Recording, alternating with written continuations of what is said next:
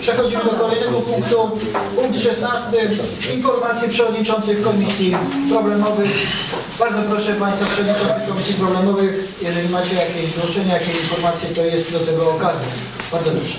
Pan Witold Dekielski się pierwszy zgłasza. Bardzo proszę. Drodzy Państwo, tak jak opowiadałem o, o, pewnych o, o planach związanych z, ze, stowarzyszeniami, ze stowarzyszeniami, które chciałbym, żeby funkcjonowały wokół szkół. W ostatnim czasie spotkaliśmy się y, z zarządem stowarzyszenia, które jest Stowarzyszeniem Nauczycieli w Szkole 155. E, Podczas tego spotkania komisja bliżej poznała się z zarządem tego stowarzyszenia, a także przedstawiliśmy im e, możliwości, jakie wpłyną dla działalności tego stowarzyszenia, jeśli chodzi o finansowanie ze środków szwajcarskiego mechanizmu finansowego. W ramach tego mechanizmu można sfinansować projekt, który, e, którego celem jest edukacja obywatelska i taki pomysł spotkał się z bardzo, z bardzo dużą przychylnością. Podjęliśmy decyzję, że będziemy się co tydzień, każdy piątek i jutro mamy takie kolejne spotkanie spotykać. W ramach tego, y, cóż, chcemy, aby w ramach naboru, który będzie ogłoszony no, już za kilkanaście dni, chcemy złożyć projekt, którego budżet może wynosić nawet 60 tysięcy franków szwajcarskich, czyli 190 tysięcy złotych. Wkład własny finansowy do takiego projektu wynosi 2%, więc jest to jak najbardziej w naszym zasięgu. Mamy nadzieję, że ten projekt powstanie ze względu na jego charakter, a więc projekt, który jest projektem, którego celem jest edukacja obywatelska. Mamy nadzieję, że także dzielnica będzie jego partnerem. No to tyle. Dziękuję bardzo Panie Przewodniczący. Czy ktoś z Państwa Przewodniczący jeszcze? Pan Paweł Mecztowicz, proszę bardzo. Ja i Pani Olu mogę prosić też przy okazji wyświetlenia naszego wyszło. To zanim włączymy rzutnik Pani Zofia Żarkowska. A potem Pani Zofia. Pani Zofia Żarkowska, proszę. Ja teraz? Dobrze. Tak, bo. Ja tylko chciałam, ja mam jedną prośbę, którą już zgłaszam od, od y, jakiegoś czasu, ale naprawdę to jest bardzo ważna sprawa. Y, Chodzi mi o żywopłot y, przy posesji Gałczyńskiego 6. To znaczy to jest żywopłot posadzony na pewno na gminnym terenie, to jest poza ogrodzeniem, bardzo blisko chodnika. Ten żywopłot rokrocznie, y, on się tak rozrasta, że wchodzi na chodnik gałęziami i trzeba schodzić z chodnika, żeby przejść tamtędy. Naprawdę to jest bardzo ważne, ja bardzo proszę, żeby może Zikit się tym zajął, bo to na pewno jest gminne, ponieważ przy gminnym chodniku i przy gminnej jezdni, więc, więc yy, Proszę? Zagraża bezpieczeństwu, bo nawet te dzieci, które do szkoły tam chodzą, to muszą zejść na jezdnię. Garczyńskiego 6 to jest narożny, narożny dom przy vis-a-vis sióstr Klarysek. I tam, tam, w tej chwili- panie przewodniczący, przypuszczam, że nikt nie mieszka, bo oni chcą, wystawili to na sprzedaż, ale bardzo drogo i nikt tego nie kupuje. I to tak będzie po prostu, bo tam starsza pani tylko jedna została i ona chyba gdzieś poszła do rodziny, bo ona nie mieszkała teraz zimą tam. Ktoś tam umarł, y, chyba córka, także y, no jest taki problem, że oni tego na pewno nie wykopią. Y, To szczególnie, że taka starsza kobieta, jak ona to wykopi.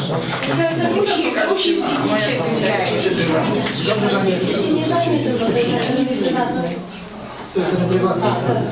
No bo I to nie, nie chodzi o podcięcie, bo podcięcie nic nie daje, tylko chodzi o wykopanie tego. Ale to możemy im nakazać.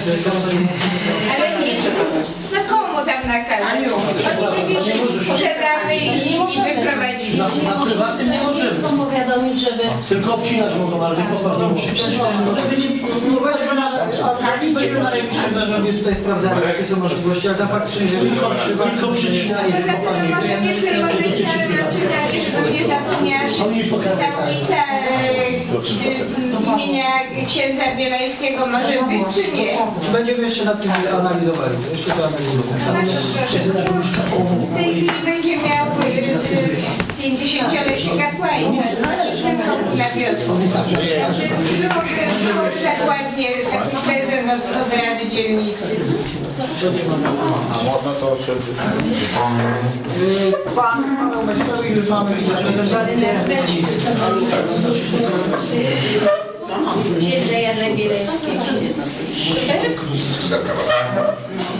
Proszę, pan Paweł. E, Dziękuję za głos. E, Ja chciałbym powiedzieć w imieniu komisji, jak również e, swoim, jak i mieszkańców, którzy od kilku dni do mnie zgłaszają się w związku z złożeniem planu, który był czytany pas startowy, e, zgłosić tak naprawdę problem e, potencjalnego zagrożenia zabrania nam terenu zielonego między obecnym hangarem lotniczym i blokiem 26 na drugiego pułku lotniczego. E, Jednym z naszych, e, tak, miał być sfer, ale jednym z naszych priorytetów powinno być teraz ratowanie tego terenu zielonego właśnie przed e, blokiem 26 gdyż istnieje realne zagrożenie, że tak, tak naprawdę ten teren zielony stracimy. Co prawda złożyliśmy tutaj y, uwagi do miejscowego planu zagospodarowania przestrzennego, żeby teren, który obecnie jest wskazany jako mieszkalnictwo wielorodzinne, tutaj ja zaznaczyłem to na pomarańczowo, aczkolwiek ten kolor tutaj trochę inaczej wygląda, zmienić cały na zieleń publiczną. Y, czy zostanie to uwzględnione? Małe szanse tak naprawdę, ze względu na to, że w nowym studium zagospodarowania przestrzennego ten teren również cały jest wpisany jako mieszkalnictwo wielorodzinne. W związku z czym ym, istnieje duże prawdopodobieństwo, że w momencie przekształcenia tej działki jako teren e, budowlany z przeznaczeniem pod bloki wysokiej zabudowy, miasto tą działkę po prostu sprzeda deweloperom, którzy no, podobnie jak z tyłu bloku, kilka metrów za blokiem postawią kilkunastopiętrowe bloki, z przodu, z tyłu powstanie betonowa dżungla. W związku z czym yy, trzeba ten teren ratować. Można to zrobić poprzez y, między innymi zabezpieczenie tego terenu pod teren zielony i rekreacyjny. Ja tutaj zaznaczyłem to akurat kolorem fioletowym. Yy, przykładową lokalizację. Ym, jest to łakomy kąsek, powiedzmy ze względu na to, czy zostanie ten plan zagospodarowania uchwalony, czy nie, w razie czego można na zasadzie wusetycznych y, pozwoleń tego typu inwestycje budować. Wiadomo, że sam plan chcemy, żeby został uchwalony ze względu na to, żeby chronić całość y, pasa startowego, jak i osiedla przed niekontrolowaną zabudową, przed dalszą dewastacją, ograniczeniem y, intensyfikacji zabudowy. W związku z czym prawdopodobnie ten plan zostanie uchwalony i go poprzemy. Z tym, że niestety w tym zakresie nie będzie pewnie spełniał naszych y, oczekiwań, dlatego musimy ratować, zabezpieczyć ten teren przed, y, przed y, właśnie tego typu inwestycją. Y, Nie będzie tutaj przeciwwskazań żadnego typu, żeby ten teren właśnie przeznaczyć na tereny zielone. To jest akurat zrobiona mapka na bazie e, załącznika do umowy z Zikitem e, Budimexem. To jest akurat z daty 29 grudnia 2012, więc jest aktualny, gdzie już jest wskazany przebieg drogi, który planuje wykonać deweloper do łączenia do ulicy Kłosowskiego. Z drugiej strony zaznaczyłem już tym kolorem takim tutaj, nie wiem, jak będzie turkusowy albo niebieski, planowaną na, przez nas zatokę postojową dla e, 30 samochodów. E, Tu jeszcze mamy teren e, na czerwono zarysowany, gdzie są usługi publiczne. Najważniejszy jest jednak ten teren, gdzie jest mieszkalnictwo wielorodzinne. Jeżeli przeznaczymy teren środkowy pod y, plac zabaw, skme- y, skwer i rekreacji, w ten sposób dzielimy go i dodatkowo, oprócz tych podziałów, które już same zostały wprowadzone przez Wikit i y, przez Budimex również Biuro Planowania, dodatkowo ten teren na dwie części przez to potencjalnie działka staje się mniej atrakcyjna dla dewelopera do sprzedania, bo jest podzielona. Już nie w, tym, w tym momencie nie wstali na przykład trzech bloków, bo ten kawałeczek tutaj będzie za mały, żeby zmieścić tam y, jakiś blok. automatycznie w tym miejscu mamy już postawiony plac zabaw, który zostanie zalokalizowany przez ym, no, jako teren po prostu rekreacji, potencjalnym rozwojem y, w kierunku w jednym i drugim może zostać również rozwijany, więc nie blokujemy sobie tutaj w żadnej s- sposób drogi. Wiem, że był planowany oczywiście przez nas Moczy Sfer. Była to lokalizacja również podawana, w- częściowo się pokrywa wiadomo z tym. Z tym, że sytuacja jest taka, że no wiadomo, mija dwa lata, tego smoczego sferu nadal nie ma. No i pytanie, czy będzie. Jedna wersja jest taka, że nie ma pieniędzy. Z drugiej strony można się zastanawiać, czy to nie jest tak, że miasto w tej chwili nie ma również interesu budowania w tym miejscu tego smoczego sferu, bo automatycznie by straciła możliwość sprzedania tej działki jako budowlanej i automatycznie nie miałaby wpływu do budżetu i nie ładowałaby dziury budżetowej.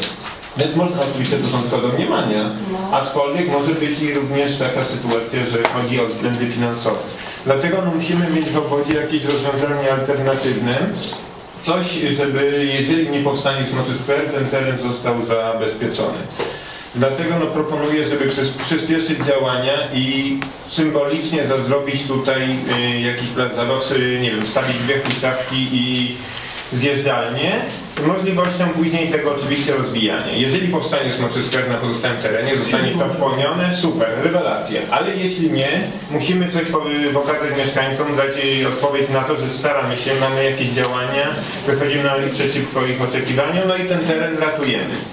Z drugiej strony, jeżeli to powstanie, będziemy mogli szukać alternatywnych źródeł dofinansowania również tego z zewnątrz, poprzez tworzenie e, sponsorów, żeby dało się to rozwijać. Tak samo mamy odzew ze społeczności lokalnej, jeżeli coś takiego będzie, będą chcieli się w to włączyć i rozwijać. Dlatego no, tutaj mam taką prośbę dla Państwa, dla wszystkich, no, żeby pomyśleć nad przyspieszeniem nad realizacją tego zadania, póki jest jeszcze czas, no póki tego nie straciliśmy. No z drugiej strony w tej chwili z awią, bo powiedzmy tak, no, mamy sytuację, że próbujemy leczyć, łagodzić skutki yy, czegoś, co już powstało. No, moim zdaniem znacznie lepiej jest zapobiegać niż leczyć. Dlatego mamy szansę teraz zadziałać niż obrócić się z ręką w nocniku. No to jest tak zasygnalizowany problem. Myślę, że Państwo go rozumieją. Jeżeli są jakieś pytania, no to... Ja Panie Przewodniczący od razu pozwolę sobie w tym temacie, żeby potem do tego nie wracać. Znaczy faktycznie jest to problem skomplikowany i ja też chciałbym ulec tej romantycznej myśli, że poprzez stawianie karuzeli na terenie uda się zablokować jego sprzedaż deweloperom. że Byłoby to naprawdę cudownie i myślę, że moglibyśmy na to przeznaczyć połowę budżetu, żeby w jednym roku wykupić takie karuzele i chociażby przy ulicy Kamionki postawić, żeby zablokować budowę Centrum Obsługi Inwestora. Natomiast no to nie jest takie łatwe, ale w tej myśli jest, jest pewna mądrość, pewien kierunek.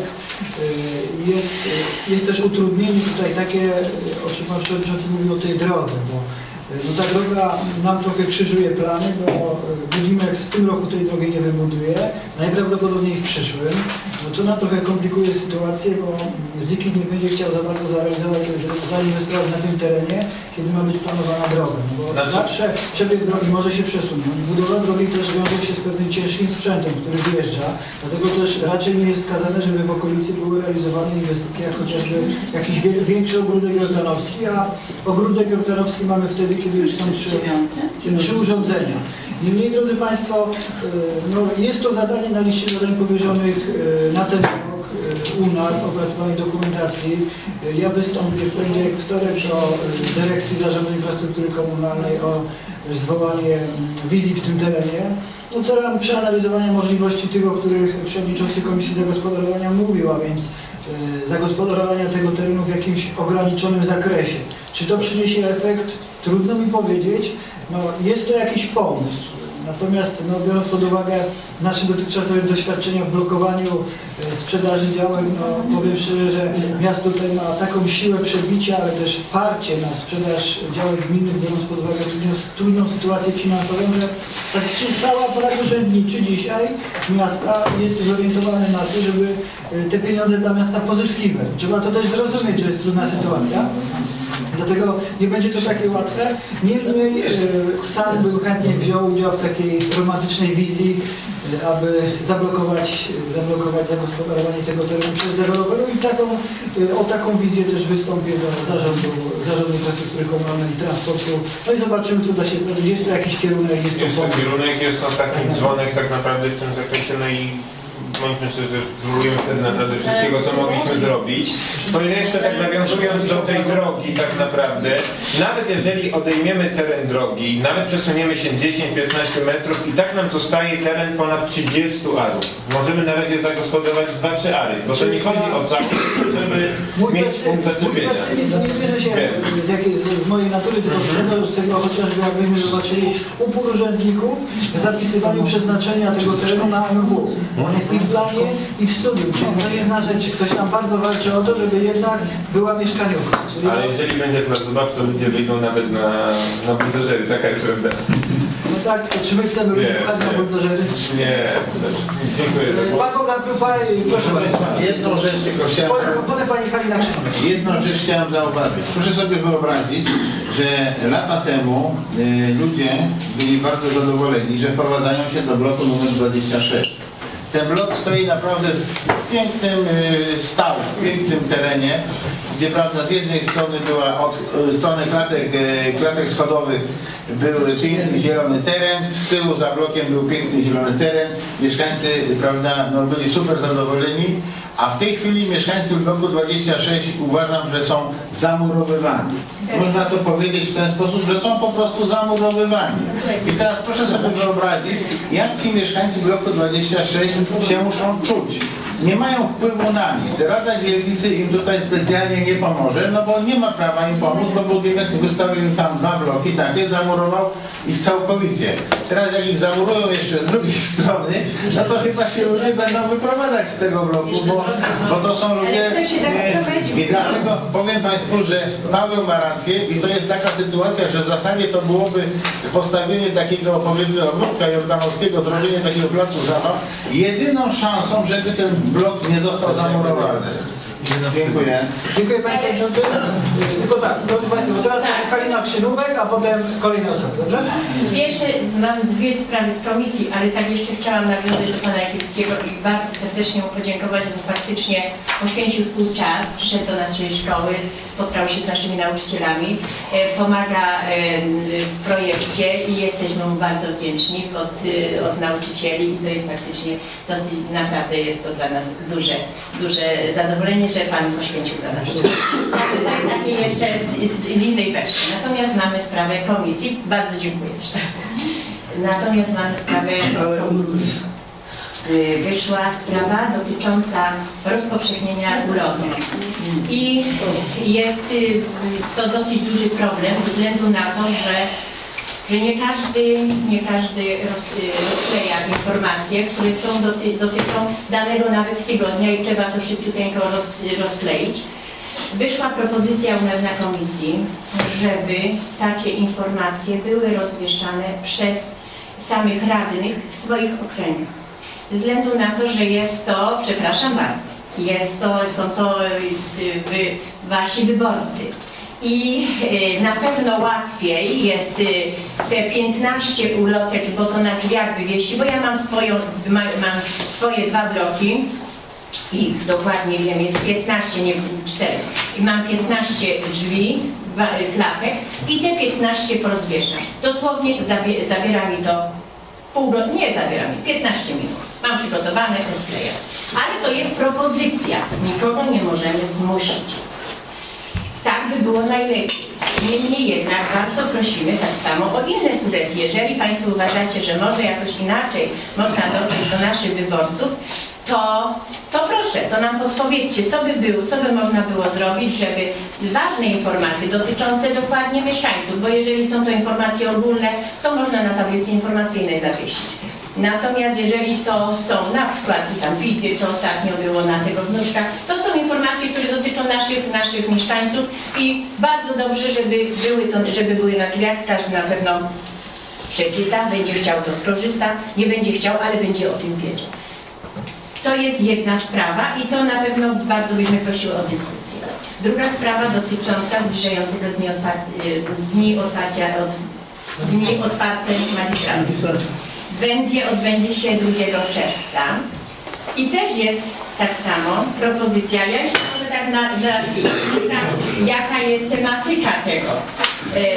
Będzie problematyka obecności graffiti w przestrzeni publicznej. I oni proszą nas tutaj, no chyba do jutra ma być jakaś informacja przesłana, y, zapytanie, jakie kwestie powinny być uwzględnione w programie i w jakiej formie moglibyśmy je zaprezentować. Też jest, y, nie wiem, z tego co wiem, to chyba nie, nie jest jeszcze jakby y, do, zamknięta ta sprawa. I, I wiem, że Pan Marek jakoś tam miał sugestie, jakąś tam propozycję, ale też jest, bo szczerze mówiąc, temat jest otwarty. To jest jedna sprawa tematyki. Druga sprawa samej organizacji Dni Otwartych. Tak szczerze mówiąc, dotyczy to całej naszej dzielnicy. I już teraz bardzo prosimy o to, żeby w taką akcję, w, takie, w taką, e, taki łączy, żebyśmy się łączyli wszyscy. Myślę, że powinniśmy stworzyć jakiś taki program, że podzielić się na grupy, jeden robi to, bo naprawdę jest ciężko dwie, trzy osoby zrobić, y, zrobić y, dobrą prezentację na takie dni otwarte. Naprawdę przychodzi tam mnóstwo, zresztą Państwo tam doskonale wiecie, ja jestem zawoda nie, nie stażem wiekowym, tylko stażem, stażem radnej, żeby na ten temat się dużo wy- wypowiadać. Państwo doskonale wiecie, ile tam osób przychodzi i pięknie wygląda, jeżeli nasza dzielnica jakoś będzie się wybijała spośród innych, innych, innych dzielnic. No i to by pasowało, ale chcąc takie, żeby to coś było, to trzeba to już zacząć pracować, szczerze mówiąc, od, od zaraz, żeby jakiś plan zrobić, żeby y, przygotować wszystkie materiały, żeby to wszystko było gotowe, a potem tylko przewieźć. No i oczywiście, to myślę, że jeżeli chodzi o dyżury, to chyba już jeszcze za wcześnie wpisywać na dyżury, ale tak samo będą i, no i, i, i, i zachęcamy do takich podpowiedzi, co by było, żeby, co by można było zrobić, żeby wyszło to fajnie. I nie wiem, czy się dobrze wysłowiłam, bo nie jestem dobrze, dobra w tym mowie, ale myślę, że chyba wszyscy wiedzą o co chodzi. I jeżeli można prosić o dyskusję, Panie Przewodniczący, to, to czy jak Znaczy, ja najbardziej bym możliwiemy. Panie Panie Przewodnicząca prosił o w ten sposób, żebyśmy to rozwiązali. Jeżeli to jest tyle wieszania tych ogłoszeń, czy dobrze było, żeby komisja zaproponowała jakiś system typu, że pojawia się ogłoszenie u Pani Ali, Pani Ala rozsyła do radnych SMS-a, a radni odbiera, radni odbierają sobie w swoim okręgu, no i rozklejają bądź nie, no to też jest, jeżeli ktoś je rozklei, no to też jest wiadomo, e, szkoda dla jego mieszkańców, ale też szkoda dla niego, no bo on jest reprezentantem. Dobrze, a czy jest, bo przepraszam, że przeszkodzę, ale tak wejdę w temat właśnie dokładnie ten. Z tego co wiem, to nie ma takiej możliwości kontroli radnego, że, że czy on wywiesił, czy nie. No nie, nie możemy, chyba się sami możemy kontrolować, ale no przepraszam, no, ja się tylko pytam się, czy, czy Pana nie ma takiego czegoś, że na przykład e, u tego radnego zawsze wiszą informacje, a u tego niestety nigdy.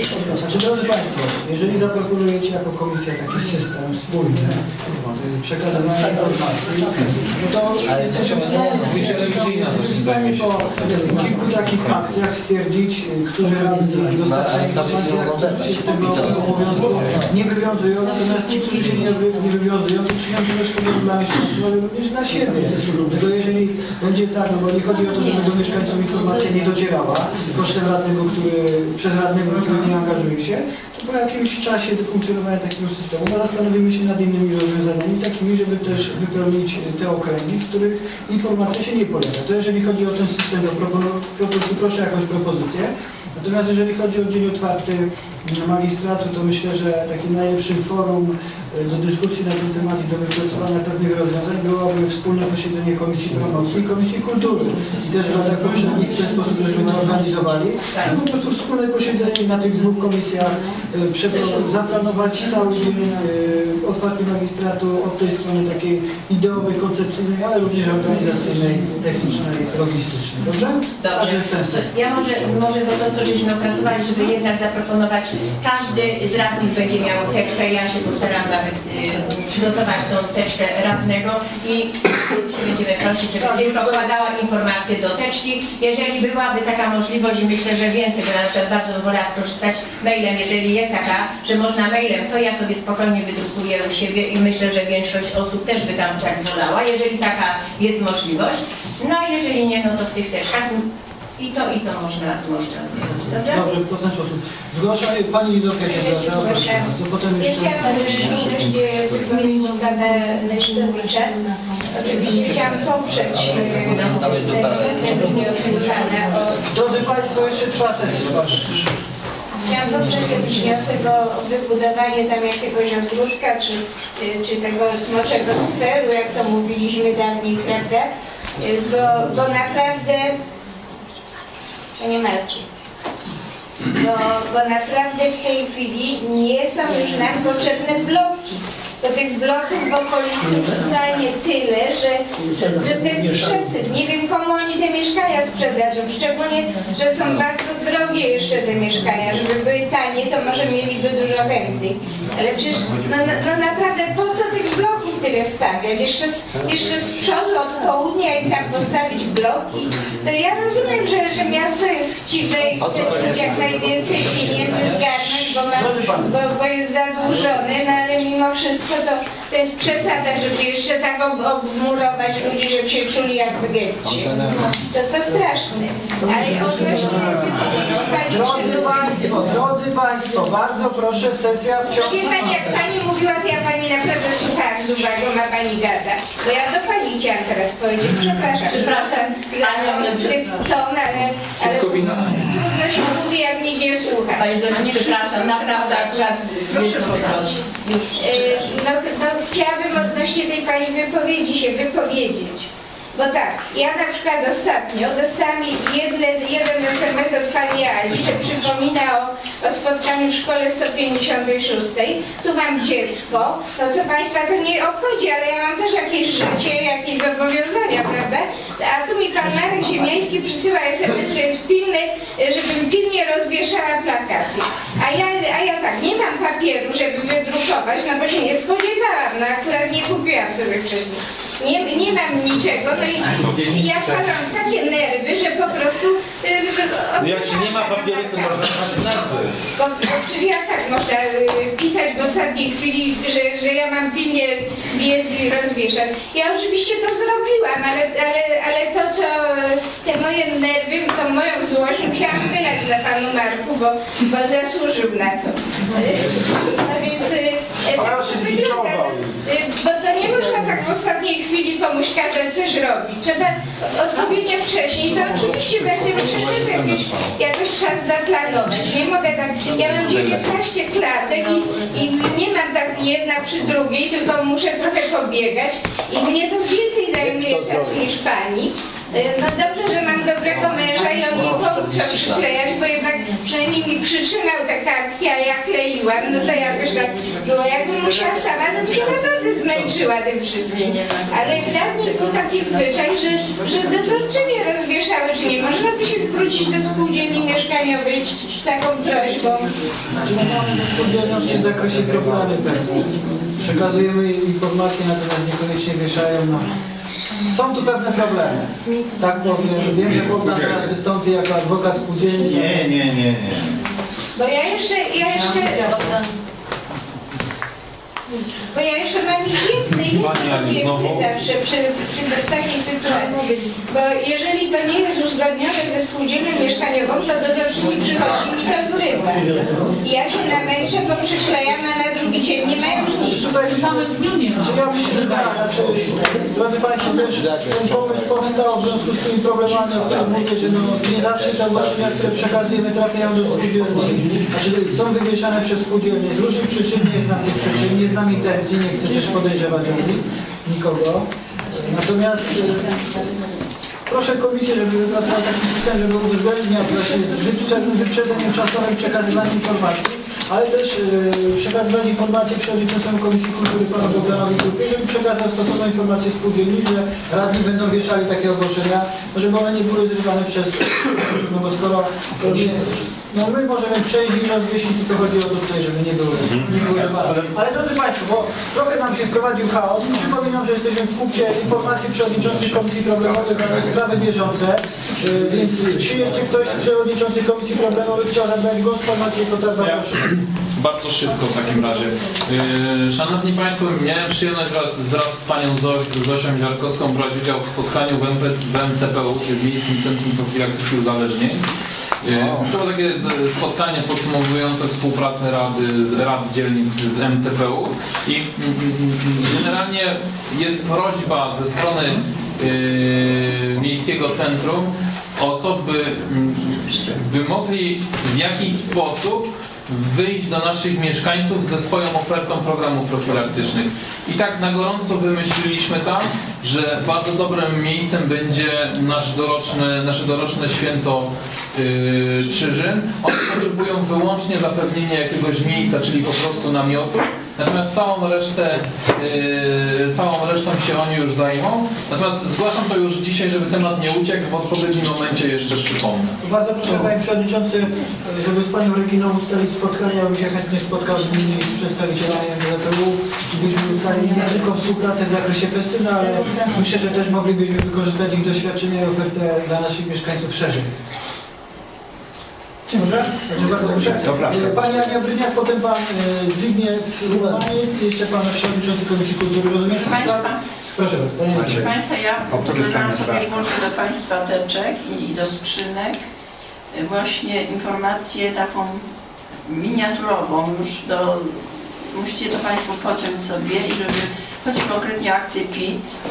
Do tego powinna być lupa jeszcze. No tak, no ale to jest jakieś, Nie, duże też są. no nie da się, takie urzędu skarbowego że- żeśmy dostali i to, na tej, to też na zasadzie grzecznościowej i wyróżnienia nawet, dlatego że inne dzielnice nie dostały tylko dlatego że no dość mocno się przykładamy do tej akcji i z roku na rok jest coraz więcej chętnych do mm, składania PIT-u w naszej dzielnicy. To zrobili nam taką grzeczność, że nam przywieźli. A wygląda to tak, no ja my, miałam nawet pisać, y, tam Drodzy Państwo, można, można dopisać sobie ręcznie, ale, ale jeżeli nie, no to też przeczytają. To jest taka informacja, że my na, na przykład na drzwiach to nie zwalnia Państwa, przynajmniej proszę o to, że musicie to rozwiesić na y, drzwiach klatek schodowych.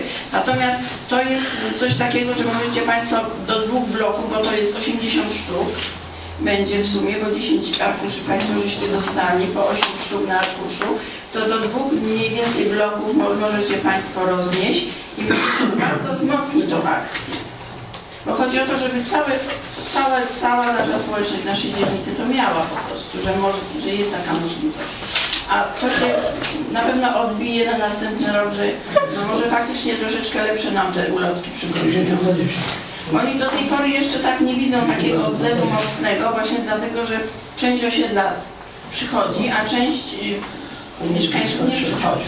Dlatego bardzo proszę, żebyście to Państwo no, roznieśli jednak do skrzynek. Te 80 sztuk na każdego radnego, to są dosłownie dwa bloki, albo jeden na przykład. Dziękuję bardzo Pani Aniu. Pan Zbigniew Ulmaniec, proszę bardzo. Bardzo, Panie Przewodniczący, ja mam prośbę o skontaktowanie się z Wikitem, gdyż dwa tygodnie temu e, na ulicy Kłosowskiego, na bloku 26, Drodzy Państwo, na wysokości bloku 26 przy parkingu przy studience wypadła tak wielka dziura, e, że powiem szczerze, jeżdżę dużo po, po mieście, ale nawet na naprawdę tak, krótko mówiąc, w wielkich dziurach i wioskach, jest zrobiona ta dziura? Była, Tu jest chwilowo zasypane jeżeli można, to. Skończy no. Wypada tak ogromna, że naprawdę na, na wielkich wsiach nie widziałem takiej dużej dziury. Y, Wtedy akurat przejeżdżałem, pan świecił latareczką, mierzył głębokość tej dziury, była naprawdę potężna. Y, Następnego dnia została w jakiś sposób zasypana, jakąś szlaką, kamieniem, natomiast minęły dwa tygodnie, dziura już się powiększa z powrotem. Czy sprawdzimy to? Myśmy wystąpili od razu w sprawie ulicy Kosowskiego i dostaliśmy informację, że od 4 do 6 marca zostało przeprowadzone łatanie dziur na tej ulicy. Natomiast wystąpimy jeszcze raz i sprawdzimy proszę tutaj Bożego, żeby sprawdzić jak obecną to wygląda, żeby tam też trzeba sprawdzić do jakiej są możliwości. Do chwili obecnej Państwo można ani dopłaty, poza tą, tą zasypaną awarią, że nic się nie pojawiło, a droga naprawdę wygląda jak dobre, dobre stare spodnie dziurawe jak Dziękuję za informację. Czy Pan Przewodniczący Komisji Kultury chciał w sprawach bieżących, czy jako Przewodniczący Komisji Kultury? No to jeszcze teraz się krzykną. Za dwa razy. E, Informacja